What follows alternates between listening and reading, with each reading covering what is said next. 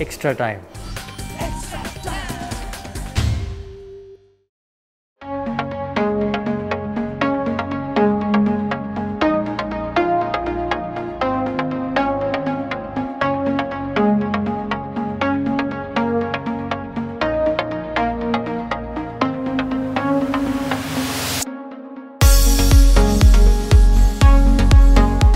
আইজাল থেকে এক পয়েন্ট হলো না, বড় ব্যাপার। আইজাল থেকে এক পয়েন্ট হলো, তোমার মনে হচ্ছে কোনো পয়েন্ট নয়, কিন্তু আইজাল থেকে এক পয়েন্ট নিয়ে ফিরে আসাটা একটা বড় ব্যাপার।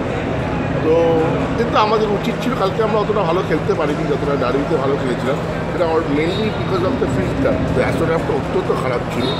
তো আমাদের পাসিং ফুটবলটা ভালো হচ্ছিল না। তারপরে ডিকার ইঞ্জুরি হয়ে গেল। তো সব মিলিয়ে মিশিয়ে it is a satisfying day যে আমরা এক- পয়েন্ট নিয়ে ফিরেছি। খুব কড়া পদক্ষেপ নেওয়া উচিত। এবং ওখানে ইন ফিউচার সুস্থভাবে খেলা হতে পারে না। কারণ কোনো রেফারি আমার সঙ্গে ওয়ার্ল্ডার আসছিল, একই ফ্লাইটে এলো ওয়ার্ল্ডার পেয়ে আপনার আমি বললাম, দেখো, কোনো রেফারি পেনাল্টি দিতে ভয় পাবে রেড কার্ড দেখাতে ভয় পাবে কারণ জানে যে দেখানোর পর তাহলে এই গণ্ডগোলটা হবে।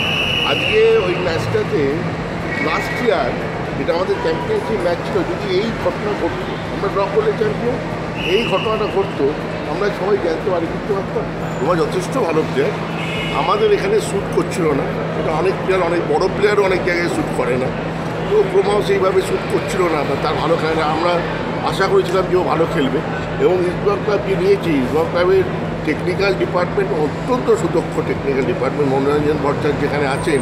তো আশা করি ওরা সব ভেবেচিন্তেই নিয়েছেন এবং আমি আই এম আমার আত্ম মানে পার্সোনালি আমার সব বিশেষ প্লেয়ার্স প্রমাণ লেটেস্ট নিউজ আর এক্সক্লুসিভ ভিডিওর সঙ্গে আপডেট থাকতে এখনই সাবস্ক্রাইব করুন আমাদের ইউটিউব চ্যানেল বেল আইকনে ক্লিক করতে ভুলবেন না জানো?